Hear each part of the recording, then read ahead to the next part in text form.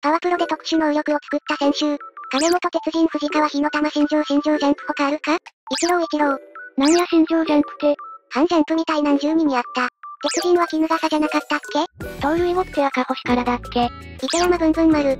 科目カスはホームラン打っても喜ばん。ADN が超スローボール作った。満塁男駒だ。サークルチェンジって井川からやんな？開発井川のチェンジアップをどうすれば強くできるか考えました。ブンブン丸って今で言う強心多様だったか。バックスクリーン男パワーヒッターブンブン丸強心多様。投資って誰やろイメージ的にはプブやけど誰やろな。ユニクロじゃないんか。パワプロ級黒木。やっぱり黒木かもう少し前の選手かと思っとった。ここまでまさかの斎藤隆なし。なんだっけ？一発病。さすがあれ様。囁き戦術と囁き返しあったよな。囁き破りって誰やったっけ？長島。大庭今日フォームおかしいよ。って囁いたら唯一効果あってバッティング崩したらしいがミスターはえ？ちょっと待ってと打席外して素振りした後ホームラン打ったらしい。S スライダーとかいう野口専用変化球開発の段階では N スライダーも案にあった模様。あれも井川と同じで野口のスライダーをいかに強くできるか考えましただったな S は斜めとかスーパーとかどう解釈しても良いとかう。ほぼスライダーとストレートのみだったからなそのままだとクソ弱い投手になるからしょうがないね。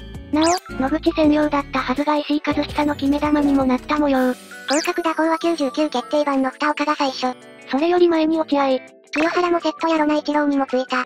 合格打法初登場がパワプロさんの落合と清原が最初やったみたいやな3級。鉄腕稲尾和久現在は回復を。ガソリンタンク米田哲也現在は回復を。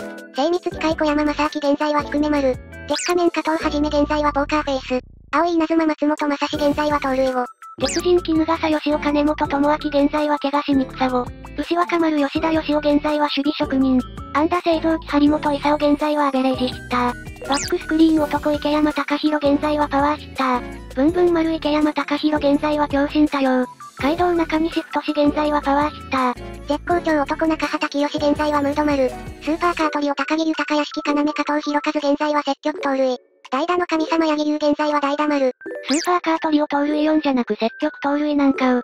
寸前罰や武家一が由来。高騰していても勝利投手の権利を得る5回以降、特に関東目前の9回に死球や連打で突如崩れる場面が多く見られた。当時の評論家などはメンタル面の弱さを指摘、ヤブ病と揶揄されるほどだった。短期バルビーのガルベスが由来。走者を背負うと冷静さを失い、あからさまに苛立った態度を取ることで知られた。判定に激怒し、審判めがけてボールを投げつけた上に罵声を浴びせ、出場停止処分を受けた事件が有名。一発病日本時代の斎藤隆が由来。花火師と揶揄されるほどホームランを献上し、1996年は1シーズンで松井秀喜に打たれた安打7本が全て本塁打だった。現在は一発に名称変更。地球男石毛博が由来。快速球で次々と三振を奪う本格派クローザーとして一時頭角を現すも、請球難が改善されず伸び悩んだ。地球連発で自滅する展開を多発し、スポーツ誌や専門雑誌などで濃紺投手の楽園を押されてしまった。テンポ丸上原浩二が由来。先発時に試合時間が非常に短かったことから、COM 専用特殊能力、初回先頭打者ホームラン男西俊久が由来、1番打者時代、先頭打者本塁打を多く放ったことから、ヘッドスライディング亀山務が由来、第1作から存在する特殊能力、当作品シリーズでは総じて微妙なタイミングの際に発動、判定がセーフになる可能性がわずかに上昇するという微細ながらランナー側が有利な性能に統一されている。ただし現実ではヘッドスライディングの技術的効果について様々な論説があり、普通に走り抜けた方が早いという意見も根強い。さよなら男ジャック・ハウエルが由来。1993年に日本記録となる5本のさよなら本塁打を放ったことを再現するために設けられた。第1作から存在する特殊能力。満塁男駒田徳弘が由来。